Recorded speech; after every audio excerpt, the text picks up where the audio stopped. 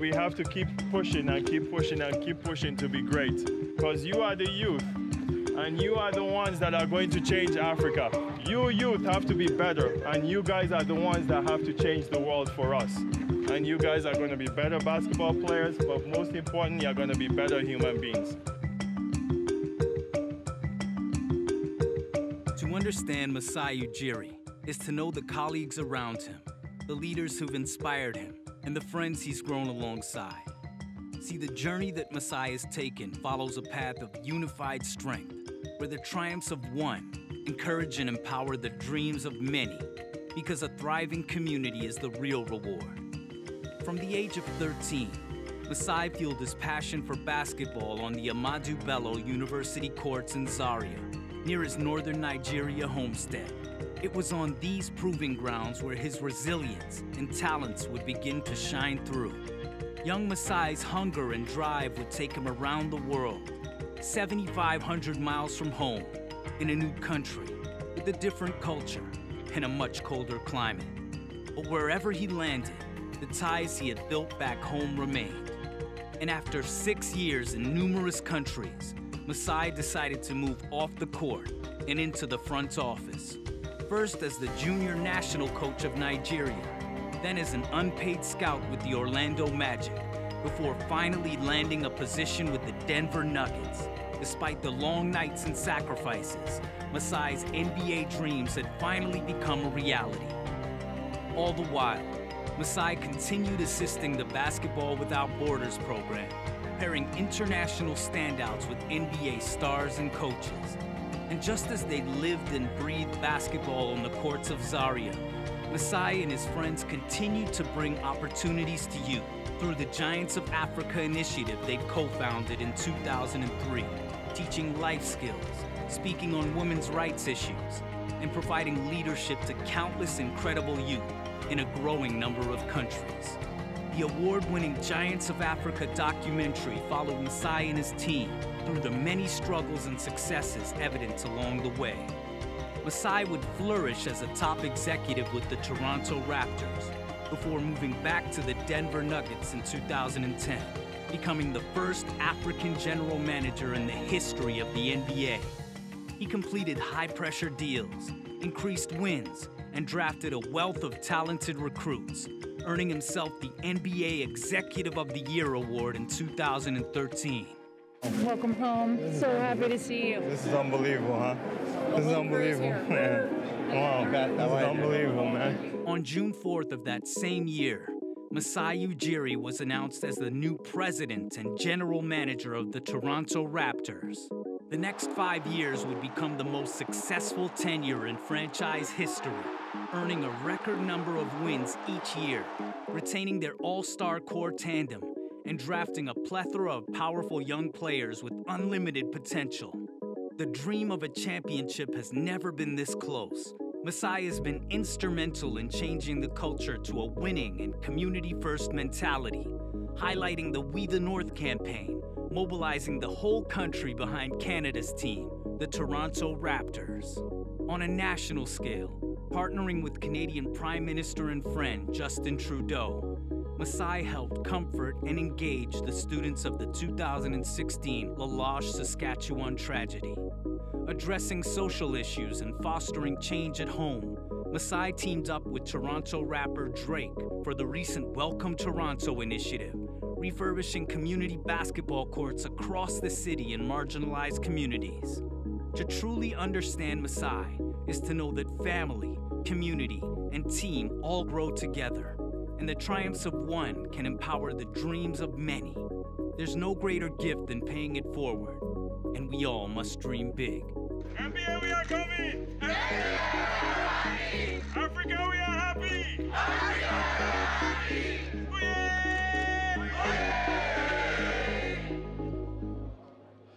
Please welcome the president of the Toronto Raptors NBA team, director of Basketball Without Borders, and founder, Giants of Africa, Masai Ujiri.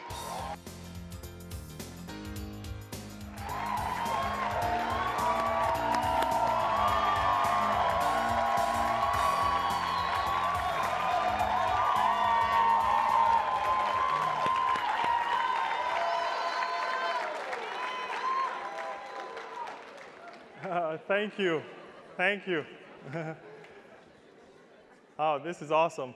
With the lighting, I can't see as much there. Everybody looks so beautiful. All the African clothes. Okay, you see me? wow. This has always been my dream uh, to speak uh, to, to people like this, to youth like this. And um, first of all, I want to thank the, the State uh, Department uh, for, for having me here.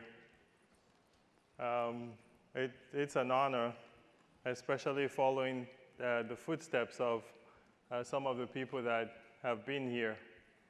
Um, I also want to thank um, and or acknowledge uh, Nelson Mandela. 100 years of Nelson Mandela. It's so, so important, so important uh, that we remember him in an unbelievable way, I think. Um, I was opportune to meet Nelson Mandela um, a few years ago, and maybe I should maybe I should start off that way.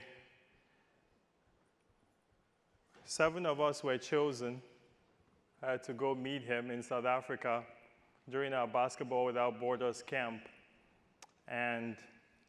Um, I remember walking into the room and I was almost scared, nervous. I know what an icon you are going to meet. And he walks out uh, after we had been there for about uh, five, ten minutes. And I was lucky to be standing next to Dikembe Mutombo and he walks up to Mutombo. And at the time, I think everybody knows how great and what work Dikembe Mutombo has done in the continent of Africa, the hospital he built. And he walks up to Dikembe and he says to him, um, What a great thing you are doing for your people in Africa. Don't ever stop. and it gave me chills. And at the time, I was a scout.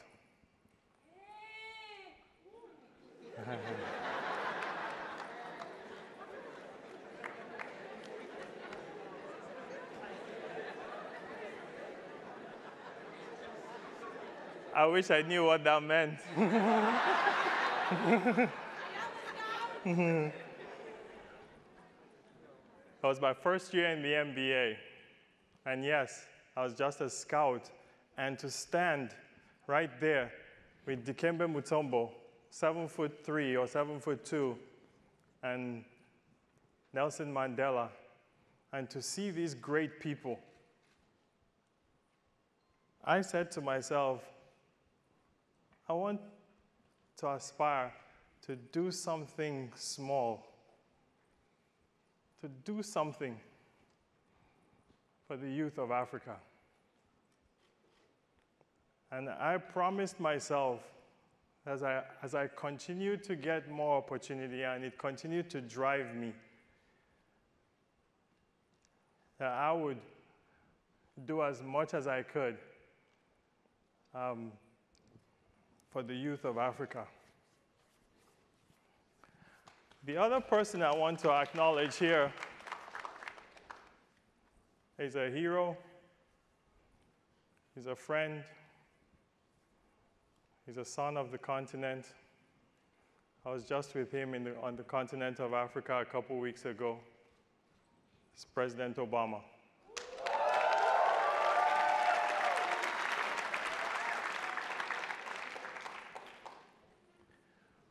I think what these two men have done is they've called on us.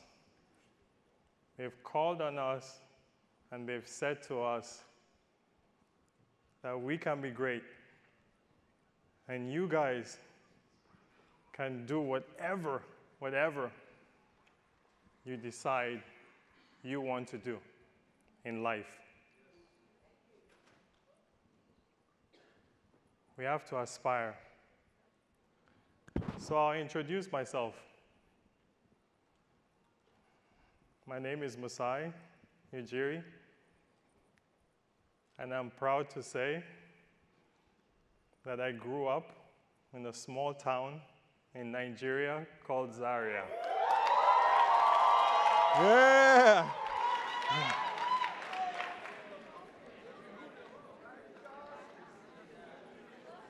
I want you guys to understand this, okay? I want you guys to really, really understand this. I didn't grow up here, okay? Just like many of you, I grew up in Africa, in real Africa.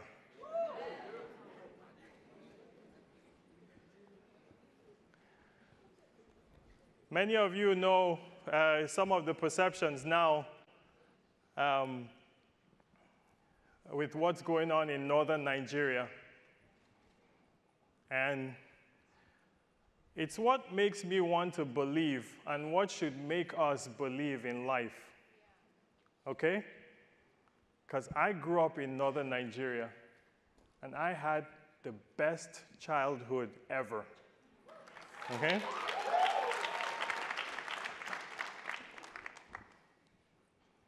Our problems are not religious. They're not. Yeah, not even close. Okay? I say it with great pride. Yeah, I grew up with Muslims, I grew up with Christians. Yeah, and I grew up with loving people. And I'm proud of that. Okay? So let's not ever think that our problems are religious. Our problems start with us and the perception we give the world. Right? And that's why we depend on you, youth. Because I'm telling you, I was just like you. Just like you. You work, you believe, you be good to people you strive, you're positive, and you keep working. So, I'm not going to stand here and tell you of any accomplishments or anything that um, I, I, I, don't think that um, should be part of the agenda here. I'm here to tell you guys that I once sat in your shoes and the NBA. Maybe some people don't know what the NBA is. The NBA is the basketball league. I'm sure you guys know Michael Jordan, you know LeBron James, you know all these players. Kobe Bryant.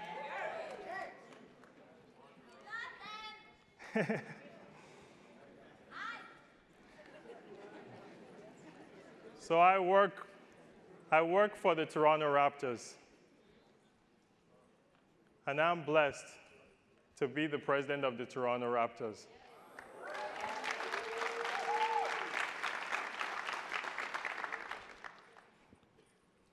Every time some people write my story, they, they say I'm the first African um, in all of um, sports in North America uh, to be in a position like this. And honestly, I don't see that as prideful. You know why? I'll tell you why. If there's no other Africans that follow after me, then I'm a failure. Yeah?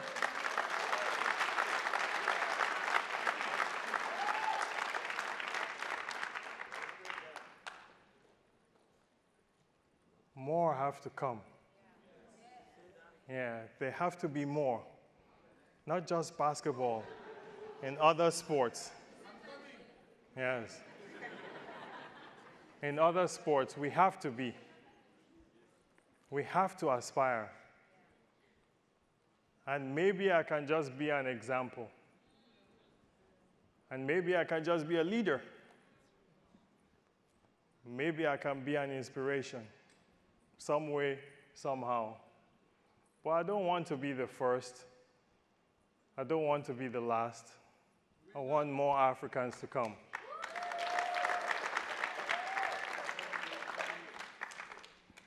So when the NBA gave me this huge opportunity, and I said, from scout to international scout to director of scouting uh, to director of global scouting to assistant GM to GM to president. I feel the I hear you well, well.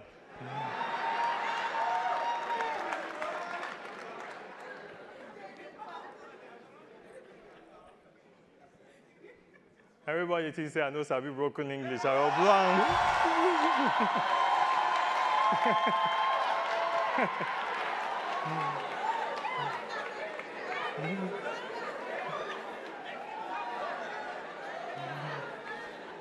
Be back. I continue in broken English.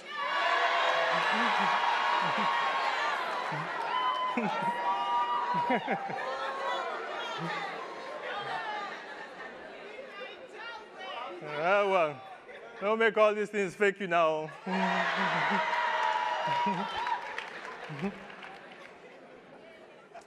uh, but when the NBA gave me an opportunity, um, it put the weight on my shoulder. And the weight on my shoulder, honestly, is not the pressure of my job. The pressure of my job is easy. I don't feel any pressure. And God has blessed me that way. I'm really lucky.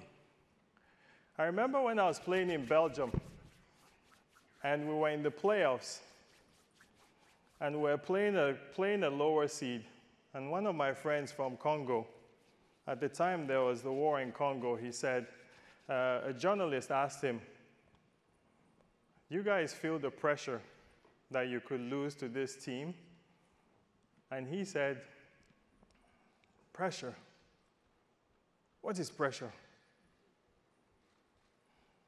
And he told a story. And he said, I have an uncle back in the Congo. He has 13 kids, doesn't have a job.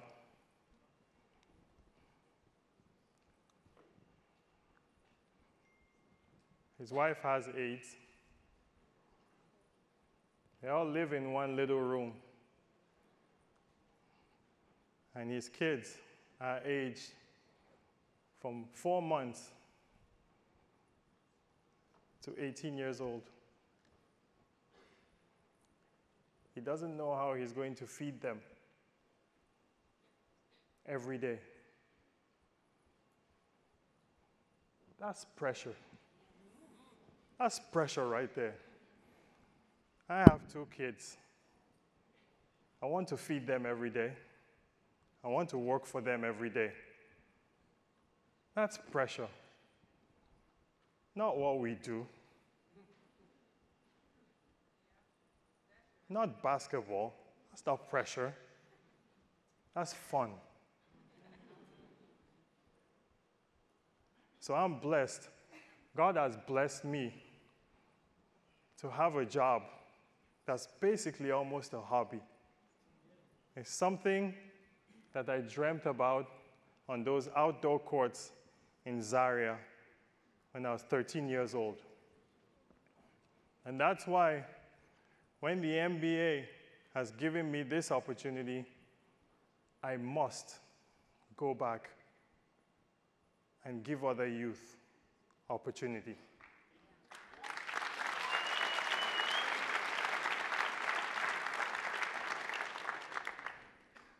So that's how I started Giants of Africa. And it started from my old coach, Oliver Johnson, in Ahmadu Bello University in Zaria.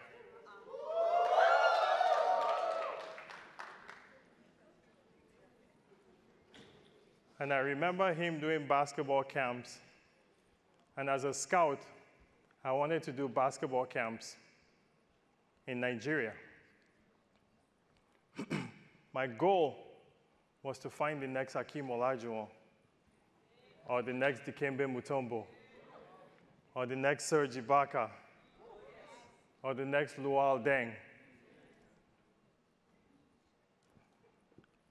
After I had done the camps for a few years, I found out that only one or two or three of those kids make the NBA. So, what happens to the others? Yeah, what happens to the other kids? And my mind was so into finding talent and into impressing my bosses. I found this guy, or this guy has a chance. I started to think about the younger ones, the other ones, the ones that are not so talented. What happened to them in the camps, after the camps? And that's why I started to concentrate on life skills and leadership and inspiring those other kids so that they can use basketball as a passion, use sports as a passion, and milk it and milk it and milk it until you find your niche through sports in life. That's the only way I learned. I found my niche through sports. I want to teach these kids that sports is very underrated. All of you now know when we were growing up, go to school, go to class. My mom pulled my ears so much. you can tell, Abby? Especially this left one here.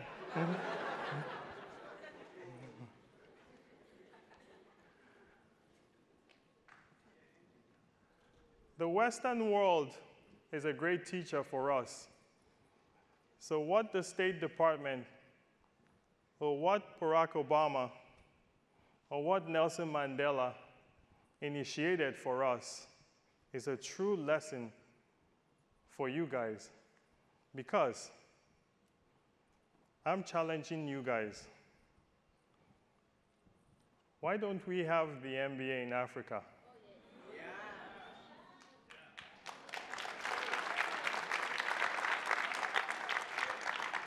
Why don't we have arenas in Africa?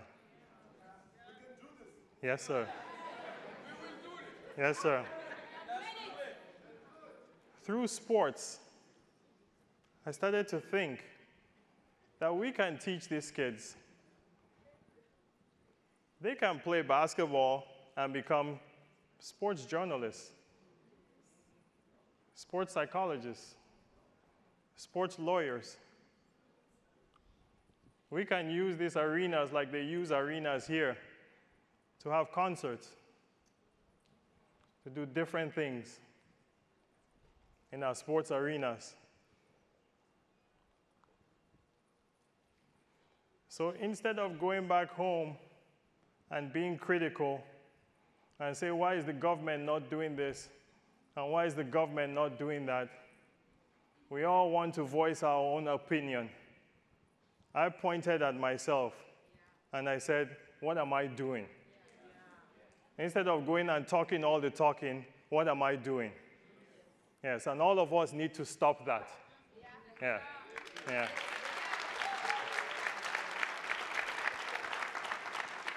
As soon as Buhari does something, or presidents do something, or somebody does something, we're the first to type and criticize, right? Yeah, what are you doing? Yeah, we all have to ask ourselves, especially you guys as youth, because you have an opportunity. You have an opportunity to create change in an unbelievable continent, okay, that has growth, that has resources, that has land, that has smart people, that has geniuses, that has great, great opportunity everywhere. And so, in my mind, I decided that I could go to my mom's country. My mom is from Kenya.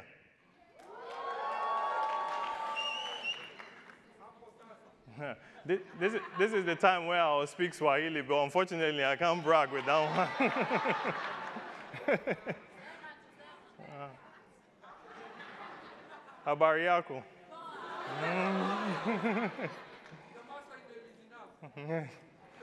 I took the Maasai name. So I went to Kenya and did the same camp. And I went to Rwanda.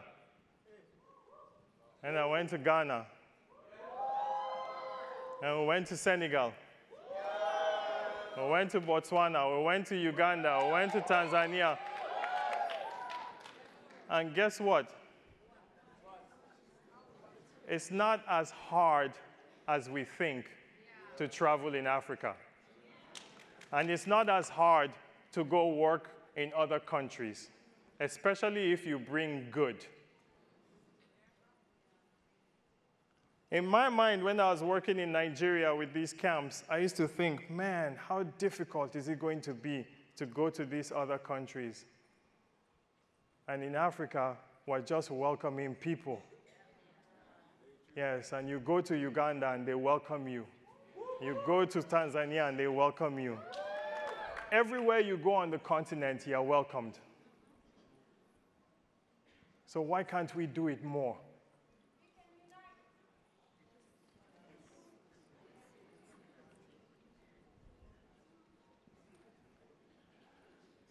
So giving back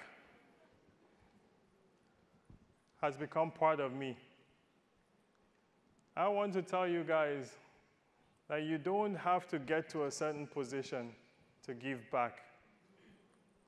Because I remember when I was working for the Denver Nuggets and I wanted shoes, I told the players, and they put a bin in front of the locker room, in the middle of the locker room.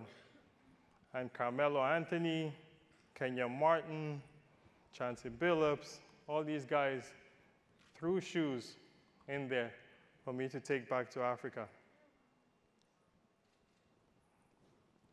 One day, Marcus Camby came to me, a former player, and said, You know, I have a deal with And1 shoes. Why don't I, instead of collecting all these shoes, why don't I give you And1, N, uh, uh, a couple of And1 shoes? One day I got back home, and there were all these cartons waiting for me outside my house. And he had sent me a 100 pairs of shoes to take back home. And back in the day when I used to do my camp, I'd have coaches travel to Africa with me. And so I would send them each a box of shoes, a couple boxes, so they carry it to Nigeria. And then when we get to Nigeria, we start worrying about which luggage came and which one did not come.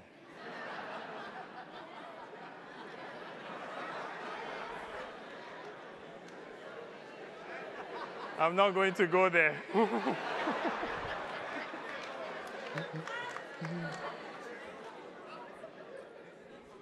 I haven't even started talking about clearing custom yet too, for the one that came.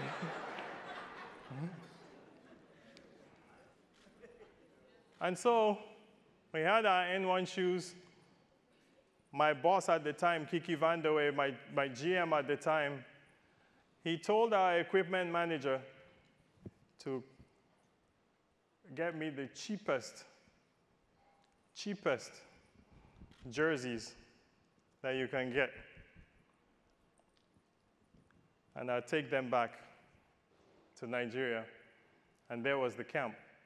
I had my coaches, I had my jerseys, and I had my shoes. And we taught the kids. And we took pictures. And those pictures you now send to Nike, you now send to Reebok, you now send to And1. And then somebody gets inspired a little bit by the tall kids they see. And then Reebok called me and they said, We'll give you a three year deal and we'll supply you with the gear that you want. And every summer, they'd ship it to my house. Have the same issue. Sending back. But the colors became brighter and brighter and brighter. And then Nike saw that. And Nike gave me another deal. And they said, you know what we'll do? We'll ship it for you.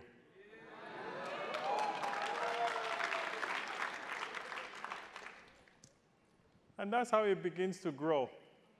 Yeah, slowly, it starts to grow. It starts to grow.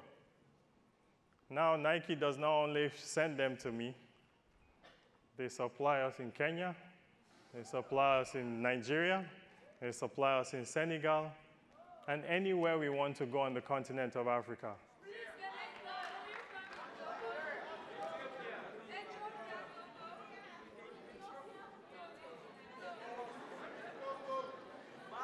Togo.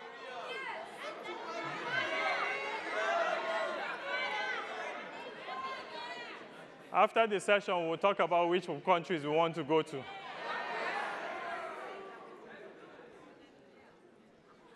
But you begin to build, and you begin to build, and it's my appeal to you that even if it's something small you do, in whatever field you work,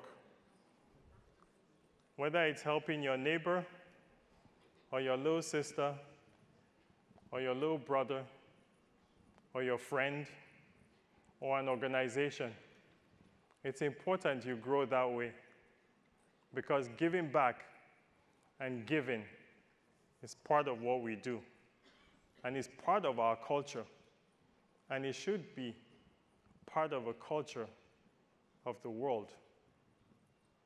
It would make the world such a better place to live in. It's important that we understand that as people. And it's important that you understand that in the stages of where you are. Okay? Everybody wants to be a leader. Everybody wants to be an entrepreneur. We have to find some followers.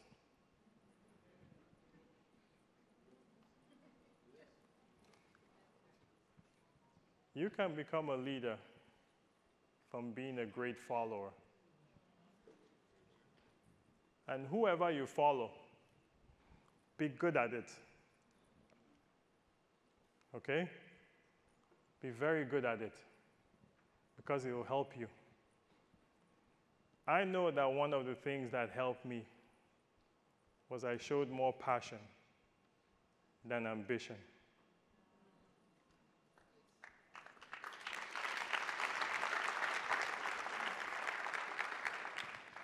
Yeah, because some of us get to this point where you, oh, I want to be this, I want to be this, I want to be this, I want to be this, and you actually like forget the passion of what you are doing. Yeah, you, we forget it. I want to be this, I want to be this. You, you get so into it. Yeah. You, when you have the passion of what you really want to do and what you are doing, I'm telling you, you will get to where you want to go. Yeah. If you put your heart in it, if you put everything in it, you'll get there. And I'm telling you that I'm the prime example of this. I'm telling you this because it works. It absolutely works for everyone. I'm going to go to some of the people that have inspired me. And sometimes, yes, I will mention the people that I've read about that really, really inspire me. But I want to start with one thing that's underrated in this world, and I hate that it's underrated women.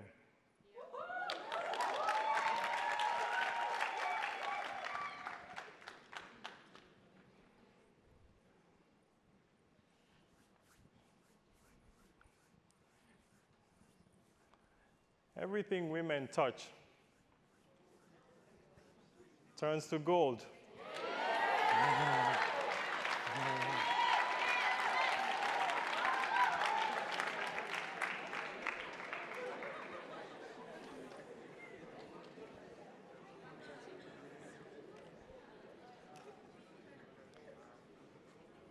My four year old daughter inspires me. Yeah, she inspires me. Because when I look at her,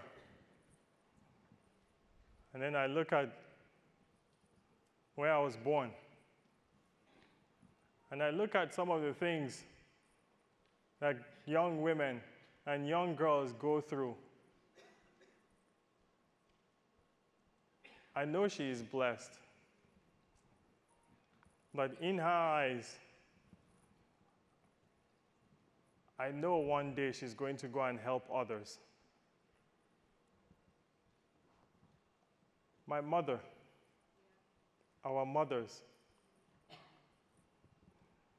Okay, when we're talking about women, let me cut through the bullshit here. Oh, excuse me. Let me cut through is there anybody, does anybody, if anybody can give me the, uh, if anybody can give me an instance here, okay? Is there anybody in this world that did not come from a woman? Is there anybody?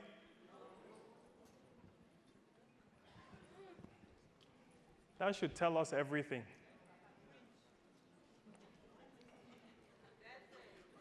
I remember when I was playing in Europe, I had played and played until my salary was going like this. That means I can't play. That means you can't play when your salary is going the other way. and I started looking at myself and thinking, like, okay, professional basketball is not paying off for me. What should I be doing next? And I went and told my mom that I wanted to come back to America and I wanted to be a college coach. And she told me um, to come meet her the next morning. And she walked me to the precinct in Portsmouth, in England. And she was working there at the time. And she took me to this suit shop. And she had saved up money to buy me two suits. Two suits. And she said, You're going to need this. You're going to need these suits. I'll never forget them. I still have them. I try to be fly with my suits now. Bought me those baggy suits at the time, but I still have it and trim it up a little bit. the thought of the mother. It's unbelievable. So you see these people that inspire you all the time. I remember when I got the first call to interview um, for the general manager's position in Denver. And I was in Senegal at the time at Basketball Without Borders. And there was a rumor going around that the general manager had already been chosen. And that the interview process was just to go through it. And I told my wife, I'm not going. The person has already been chosen. And she looked at me and she said, Have you ever interviewed for a GM job before? And I said, No. And she said, Why not go? I had also worked for the Denver Nuggets before as a scout, and I had moved to Toronto as assistant GM, and this was Denver wanting to interview me. She asked me, Didn't you work for the Nuggets before? Don't you know the owners? And I said, Yes. Believe me, in my mind, I wasn't going to go for that interview. Because in our industries, we read and we see, and we have these perceptions, and we have these things ingrained in our heads that this is how it is. And a lot of times, it's not how it is. We just put it in our own heads and believe in nonsense. Why not go there and prove yourself? And you know what? If it doesn't work, you have the experience.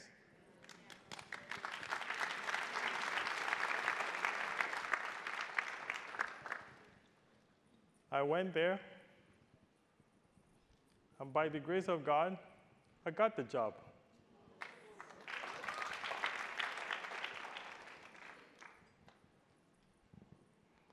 And so I look at a lot of places in my life that have been inspired by women.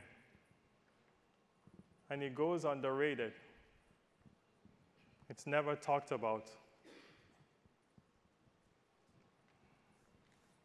We have to talk about it more. Yeah, we have to. To empower women, especially in the continent of Africa, we have to talk about it more. You youth, have to talk about it. When you go back to wherever you're from, when you go back to your communities, go talk about it. Don't let anybody oppress you. Talk about it. Because women are strong. And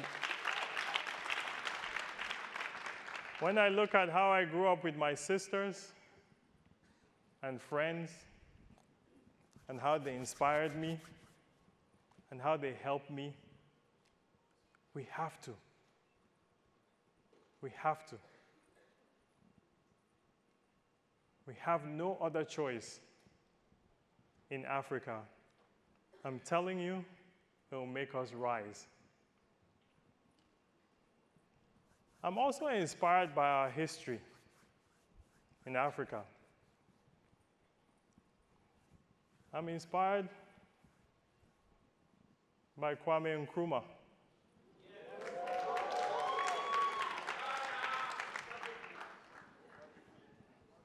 I'm inspired by Jomo Kenyatta.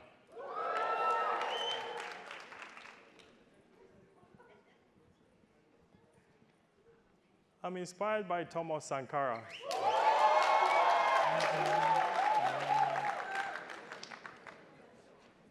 Read more, okay? Read more about Africa. Yeah.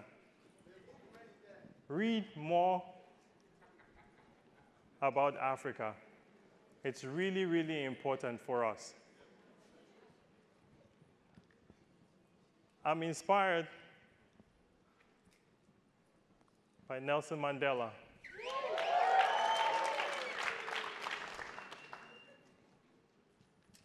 I'm inspired by Barack Obama.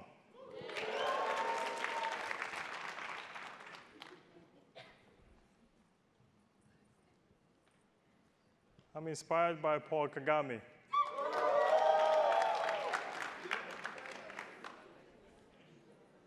Because in the 21st century, we need visionaries. We need you guys to see ahead. Okay? Because I'll tell you now Africa is now. I believe in next generation Africa, but I'm telling you, Africa is now. And Africa must win. We must win in everything that we do. You youth, you guys must win. Okay? I'll leave you with this. Okay? Every time I drive home, I pinch myself. I really do. I think about people. If I talk to people in the right way, if I talk to people in the in not so right way. And that's why you guys have to have lessons. Okay? You guys have to have lessons. Set goals. Okay? Set goals. Money should not be a priority. Okay? It shouldn't be. It shouldn't be a priority. Okay? Help others. Make sure you help others. Bring other people along as you go. Make sure you do that. Have mentors, like I talked about. Find mentors, find people that inspire you, that can mentor you, that can guide you in the right way. It's really important. And the last, one of the things I said before is show more passion than ambition.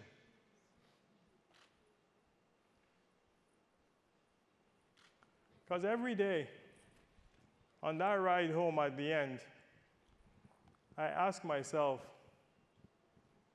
and I wonder, why did God choose me?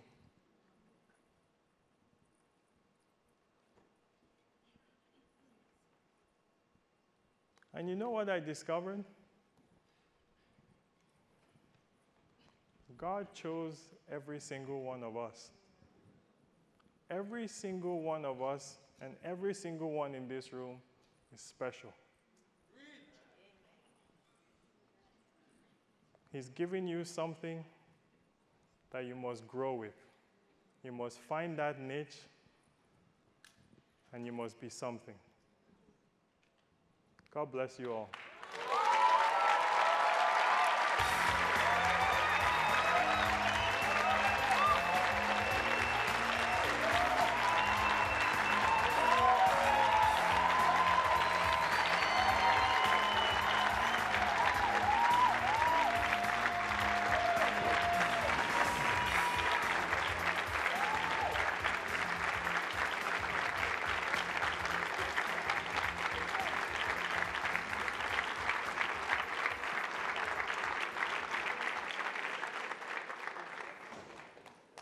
Think we have like five minutes for questions and answers. Am I right or wrong?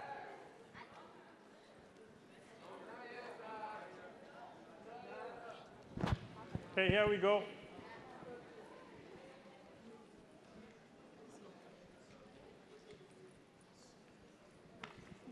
Okay. Uh, my name is Naya.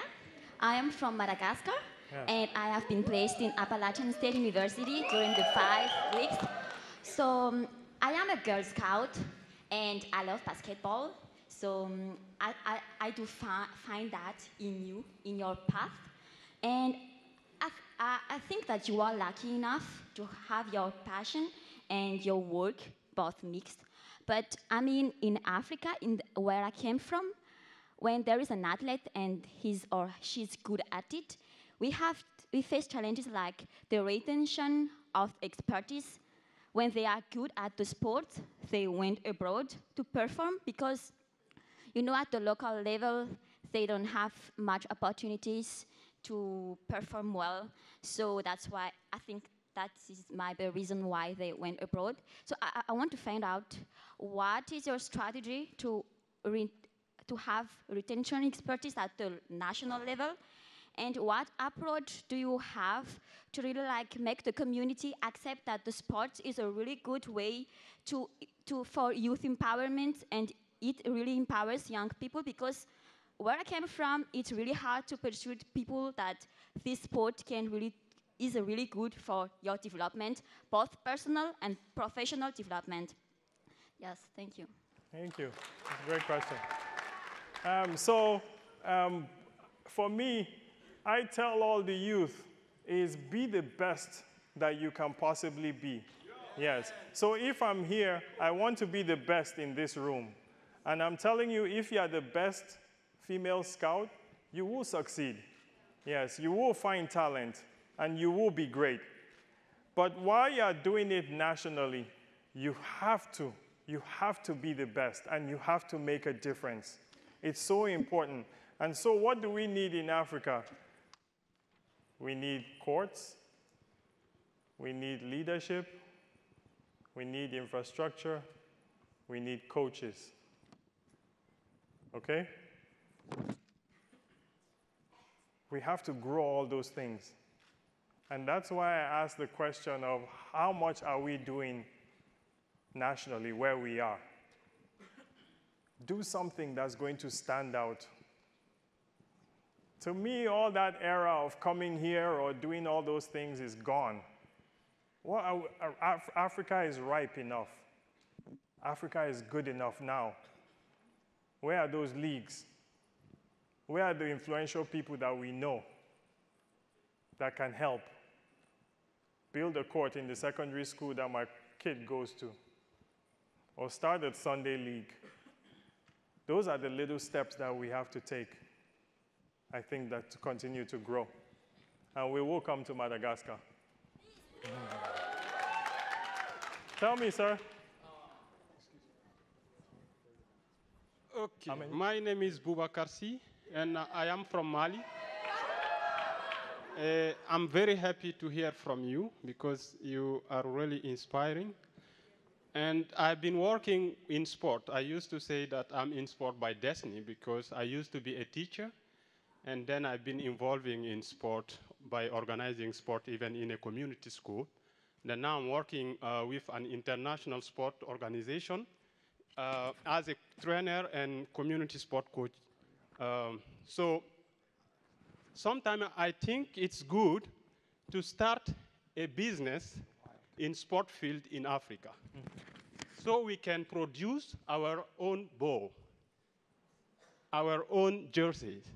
Because that's something we really need. Because most of the time, those coaches don't have ball for their kids. That's most of the challenge they are facing. And we are always waiting both to come from other country. Sometimes it takes time. And as we are like with entrepreneur, young entrepreneurs here, I would like to invite people to start thinking about something like that.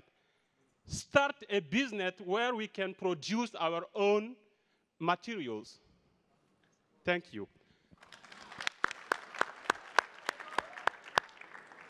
Yes, ma'am.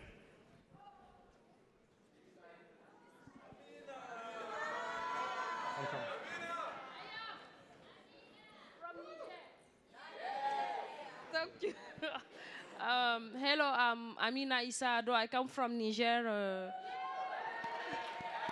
not Nigeria. Okay. Okay.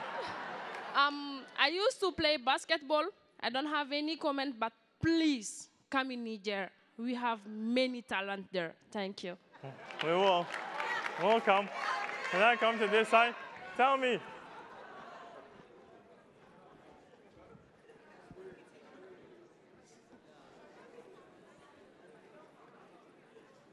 Good afternoon, everyone. My name is Kendora Badzigi. I am from Chad. I love basketball. Actually, I'm a basketball player. I have my younger brother who is 2 meters, uh, 0.5, and he's taller than me, actually. I used to play basketball in Arizona. Mm -hmm. I am also from I study in Ahmadu Bello University. Mm -hmm. When you, you introduced yourself, I was like, you are my man.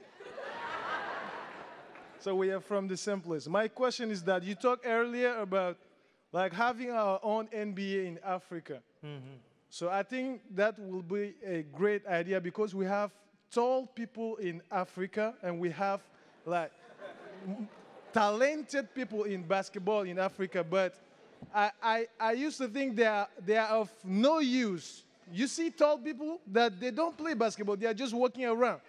So we, why not? Ha- so my, my question is that we should consider it and what do you think it is a good idea? What are the strategy for us to have our own NBA in Africa? Thank you. That's a, it's a good question. So put your hands down first. Let me answer that question because it's a challenge. It's a challenge for us. It's what I challenged in, in Nigeria. I go to the national stadium and I hold the basketball camps there every year. Okay? And the national stadium is an eyesore. Okay? It's been that same way. It's been the same way since I was 18 years old. And I'm 550 years old right now. and it's been the same way. How can it be? How can it be? So, what we're talking about, example is the NBA goes and we hold the game in South Africa. In fact, I'm flying to South Africa at 5:30 today. Okay? They hold the game in South Africa. Why? Because we're struggling with, you think the NBA does not want to go all over the continent? But tell me what arenas that we can use in other countries. That's the issue we have. And when we do, it's what I told you guys about following and everybody wants to be an entrepreneur, and everybody wants to be a leader, but there are no people that manage these places.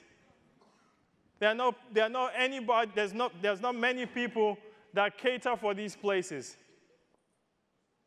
So they build all these stadiums and they are run down within a couple years. Why? Why? So here is what I'm saying. All of you, that's your challenge. Go make a difference. Go make a difference. Find people that are going to maintain. Find people that are going to build those arenas so that the NBA can come. It's very important, guys, that you take this serious. Okay? It's very important that you take this serious because some of you that say you're in sports and you have influences in different little places, this is the encouragement that the youth need. Okay, so we go to the stadium and they use the same stadium for church. They use it for um, uh, wedding. They use it for naming ceremony. They use it for, is it not? Why?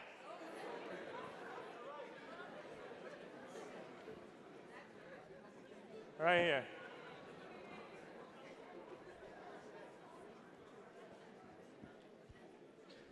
I can hold it. Yeah. Thank you so much. My name is Mohammed Ahmed. I was I did my fellowship in Drexel University. Uh, I come from Nigeria. I have a way of finding the Nigerians when I'm pointing at them. Specifically, Gombe State, mm-hmm. close to Zaria, where you grew up. So I was very happy when you mentioned your experience in the northern Nigeria, talking about uh, extremism, religion, culture, and you mentioned that is actually not part of the problem we have. And I'm going to ask you, what are you doing specifically using your sport camps to bring these youths that are obviously being uh, drawn into extreme behaviors uh, involved in violent activities, drug abuse, and other social menace. That's one. And my second question, and is also an appeal to you, um, we as fellows from the northern part of Nigeria are actually working very closely now to organize a youth camp so that we can be able to bring out our brothers from the hoods who are unfortunately being used by politicians and other uh, extreme-minded people to uh, engage them into extreme behaviors and violence, drug abuse, and others. We, I want a recommendation from you because we don't know the age group that we should target. Either it should be people at the high school level or the youth that are already in the universities, or should we go for the kindergarten because the problem actually flows across. We don't know where should we start. Thank you. That's a great question. That's a great question. Thank you. Um, uh, for me, if I use example of when I was young, um, I found basketball, I found football, and we have to we have to encourage this on a youth level, and it has to be primary schools. Yeah, you have to start these kids when they are younger and encourage sports. I agree what my guy said from Zaria. He said, there's so many tall people walking around. you guys remember many years ago, many, many years ago, uh, just think about this. Many, many years ago, okay, they would invite Stephen Keshi to come and play football for Nigeria. And there was only one or two. In fact, if you guys are historians, you remember, or soccer, uh, sports historian, you remember uh, Okwaraji, who died on the soccer field in Nigeria. There was one or two professionals, okay, that they would bring to come and play for Nigeria. That was 25, 30 years ago. Okay? Now, you can make a Nigerian national team in Real Madrid alone. You can make a Nigerian national team in Belgium. You can make a Nigerian national team in England. You can make a Nigerian national team anywhere. Right? Yeah, so where did all these soccer players come from?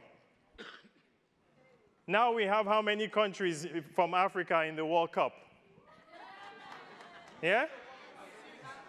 Yeah. Including France. Including France.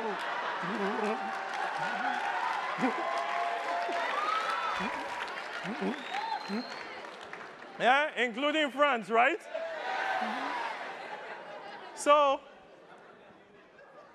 so what I'm trying to say to you is it's the same way in every sport and it's the same way in basketball. Okay? They are walking around everywhere and all we need is facilities. And what all these clubs did is they came and built academies, and the business of football started to grow in Africa. And they started to recognize all the talents. And that comes to your question is, we have to start in the primary schools. Okay? I, as soon as I came out of my mom's womb, there was a soccer ball waiting for me. so I can play soccer very easily. Okay? I started playing basketball when I was 13, and I became pretty good at it, but I didn't start at the young age that they start in America. Because you can go, if you walk outside this place, I bet you there's like three gyms around here, where you, or three outdoor courts where you can play. So you have to go and encourage these kids from playing in facilities. As I told you, religion is not the problem. Poverty is the problem. Yes. Yes, it's poverty. Yeah, let's all be real with ourselves. It's not religion. Okay? Once we begin to feed and once we begin to give, you see them go away from all these extra things because the same problems are the same problems all over the world. Whether you go to hoods in Chicago, whether you go to hoods in Zaria, whether you go to poor places in anywhere in the world. That's the issue. Right here. Hopefully, she's not Nigerian. Hi, my name is Kagiso Mapalle from South Africa. I was doing my civic leadership track at the presidential precinct. Um, you mentioned a long list of males who um, inspire you, and in the era now of women empowerment, for example, Nelson Mandela's legacy was kept alive by Winnie Mandela when he was in prison. We have a lot of girl children in Africa who need to have women who have done a lot to be raised up so that they can look up to them. Mhm. So I am going to request you to please, in the same way you gave a long list of male people who inspire you, to give another list of women in Africa who inspire you so that their names can also be raised up. Thank you. I answer that question. I answer that question with all honesty, you know, um, because I really do believe in what she's saying, you know. And um, when I started with uh, some of the people that helped me with leadership, and um, I have a leadership consultant. I have people that try to help me with um, with Giants of Africa, and we talked about this. We talked about who are those women and how do they stand out? Okay? And we have to continue to mention them. But I have to be honest in myself, and I'm telling you the women that in- inspired me. I, it's my mother, my daughter, my wife. I didn't, when I was growing up, and because I was into sports and maybe into history a little bit, I did not, okay, I know a woman that inspired me. Maria Makeba inspired me. Yeah. Yes. Yvonne Chaka Chaka in- inspired me. Tell me.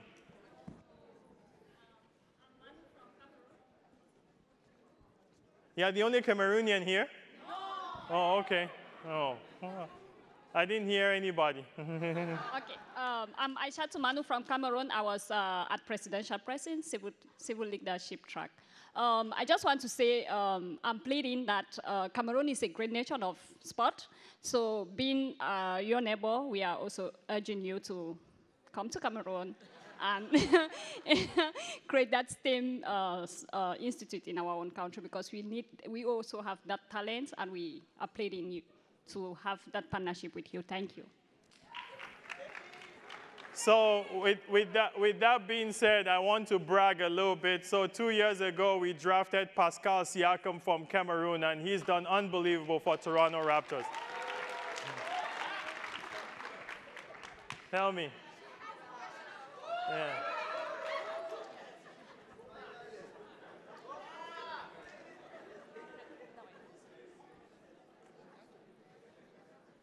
Thank you very much. Thank you, guys. so, before saying anything, I want to tell you that my name is Pamela P. Pamela for P. Urshel. U. Mobolade M. A for Aklogan. So, my name is Puma. And yes, and I hope that one day I represent Puma. Yes. I was born for sport, but I didn't know. I started playing basketball when I was nine. Then I played judo. Then I worked as sport journalist. And since I didn't get to anywhere, like I just played once for the national basketball team, I felt like there is nothing for me in sport. Where are you from? I'm from Benin, West Africa. I was in Indiana University. I was coming to it. So last year, I got the opportunity to have a job, an international job, and I gave up because I choose my passion. And you were talking about passion.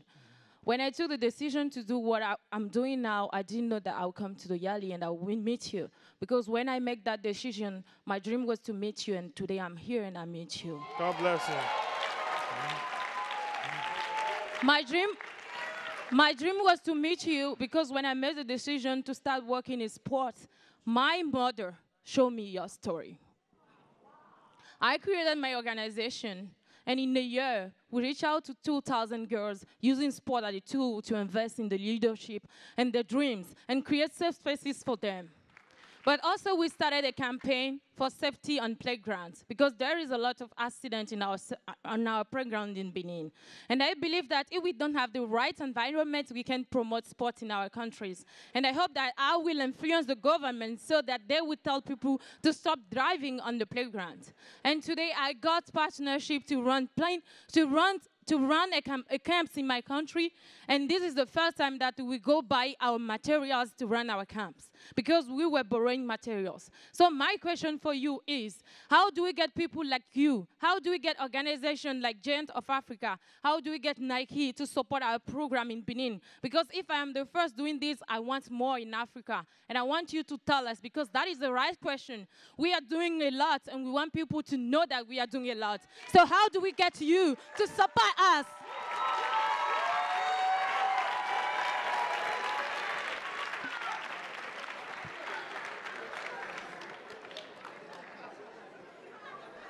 I don't know how to answer that question. No. uh, let me let me let me tell you let me tell you something. What you are doing is great. And what you are doing is really really great. Is Don here? Where are you at? Dawn is our director of uh, Giants of Africa. Make sure you talk to her, okay?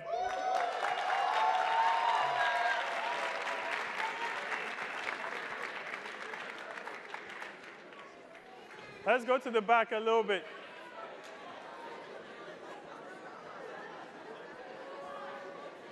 Okay. Tell uh, me. I'm Antoine, and I'm from Liberia. Uh, I did my fellowship at the Arizona State University. Hearing your story is something that took me back to my country. Between 1989 and 2003, we went through some of the, the worst crises ever. We had this young man who then had the opportunity to play in Europe. He was one of the single Liberian, who sponsored almost all of our activities whilst we were going through civil crisis. He took our national team personally to play games. Today, this young man, benevolence has paid off. He is our president. You are doing a great job. I am not admonishing you to delve into politics, but I know you can even be more than that. Please continue what you are doing, and Africa is going to be grateful to have you. I thank you. Thank you.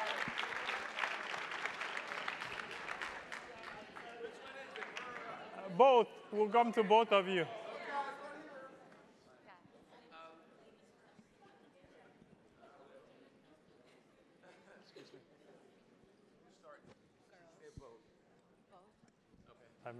Um, my name is Whitney from Austin, Texas University.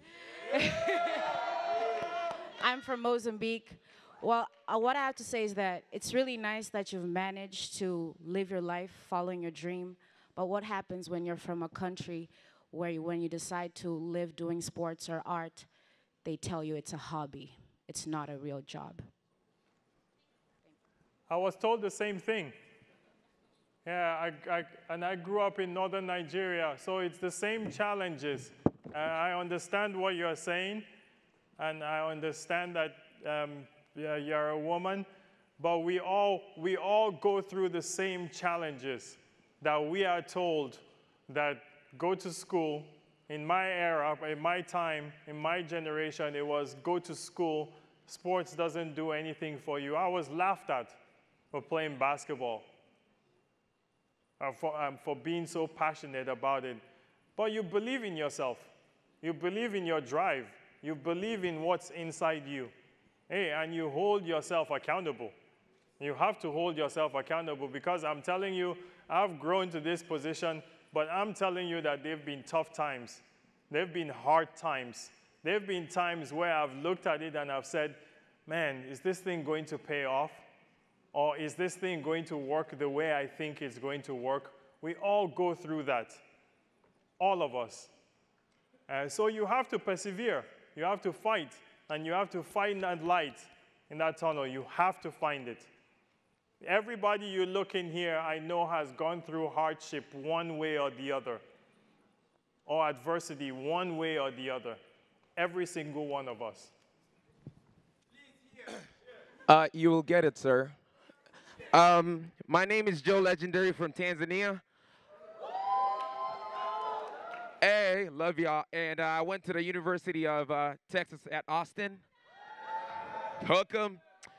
And uh, last year, uh, we met in Tanzania and we had a little conversation. But fast forward, last week you did an interview about the Kawhi um, Lowry trade, and you said uh, the craziness about having balancing the business part with the emotional part. And I run a couple of businesses, and I struggle with the emotional part because sometimes I let it take too much and the business side kind of fails a little. So, how do you balance that, especially with you talking about passion so much? Thank you very much.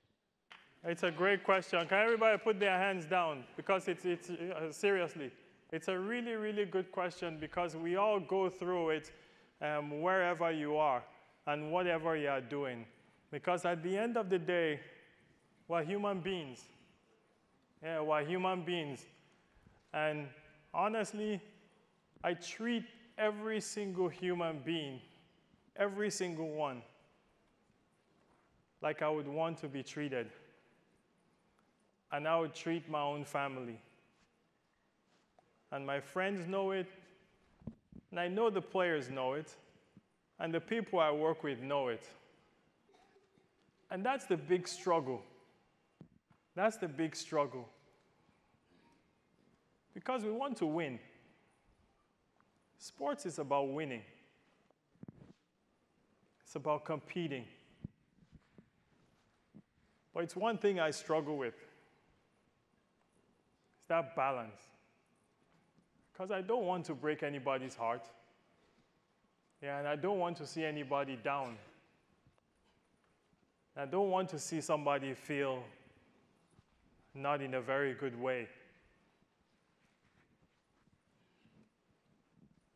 If I was to tell you guys one part of my job that I don't like, that's the part. Yeah, because I have to look at these players in the eyes. We have to conduct trades, we have to conduct business, and we have to cut people. It's not easy. It's not easy at all. And all of you are going to go through it.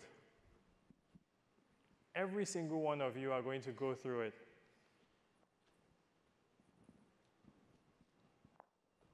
Yeah.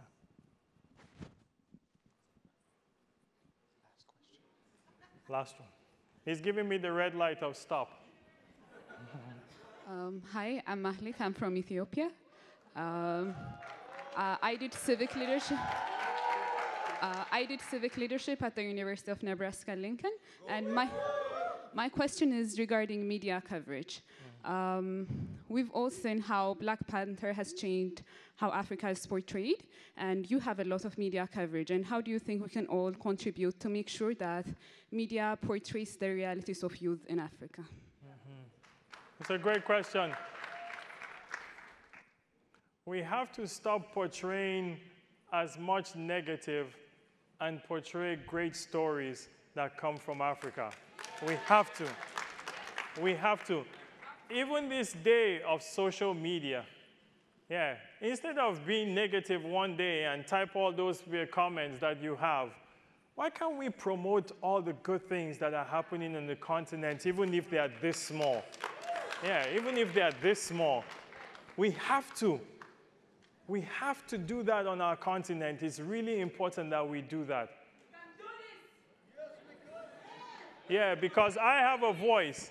The reason I'm here today, the reason I'm here today, honestly, is because you guys inspire me. Yeah, I see myself in you, and I see you guys in myself.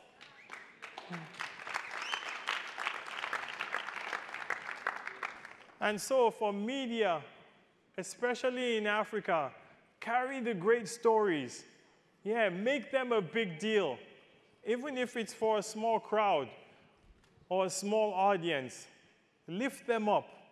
For those young kids, those young programs, those young teams, lift them up. Yeah, tell the story, and it will open our eyes even more. That's why I speak out.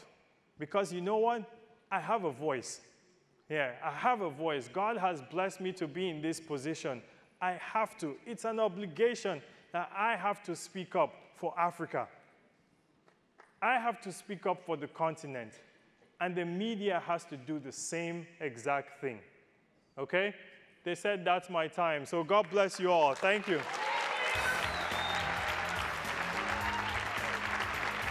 Thank you, guys. You guys were awesome. Thank you.